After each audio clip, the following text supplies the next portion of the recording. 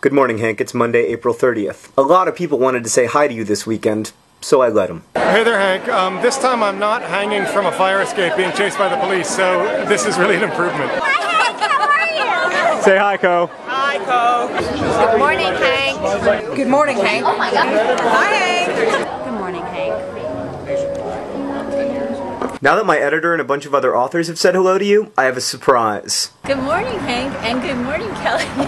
This is Francesca. Hi. Have a really good day. Hank, that was Francesca Lia Block, the author of Weetzie Bat, a book I know you like and I know I like, and I also know that Brotherhood 2.0 viewer Kelly likes. Speaking of Francesca Lia Block, Judy Blume might have just been knocked out of my guilt-free 3. And now for our final introduction. Grüezi, Hank. I think you're really cute, and I know you're married already.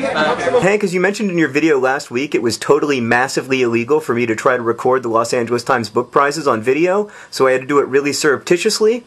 And as you can see, I did a really wonderful job with the camera work. I don't like to brag, but if they give out a Los Angeles Times Book Prize for the best bootleg recording of the Los Angeles Times Book Prizes, I am definitely going to win.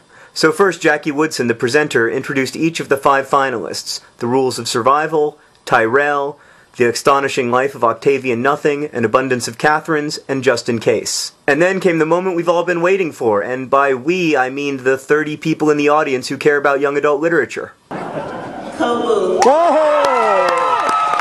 It's my hope that it will fall into the hands of those kids who really do not see themselves represented in literature often. And my hope also.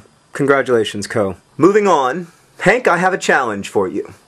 The Yeti and I have both been singing the Helen Hunt song pretty much nonstop for the last five days. I want to give you a brief sense of what it's like to be at our house right now. Aren't you nervous about trying to find a house? God, so nervous. Helen Hunt, Helen Hunt. Anyway, Hank, we sing the song constantly. We can't get it out of our heads. The only problem is that we can't quite sing it in key because it seems to have been written in the key of awesome. And so, Hank, that brings me to my challenge. I would like to challenge you to make more songs. Lots more. But what I need right now is for you to write a song that will replace the Helen Hunt song because it's starting to burn a hole in my head. Oh, hey, Hank, by the way, you know what's funnier than dogs in New York? That's right. Dogs in Los Angeles. Look at it, Hank. It's a chihuahua that seems to be married to a 19th century plantation owner.